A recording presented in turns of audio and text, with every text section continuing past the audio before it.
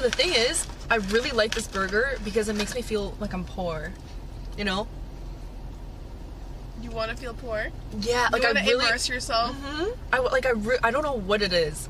I have like Well- a huge fetish for like, oh, I'm so poor. I can't afford any food. This- this is all I can afford. this I is can only not- eat fast food.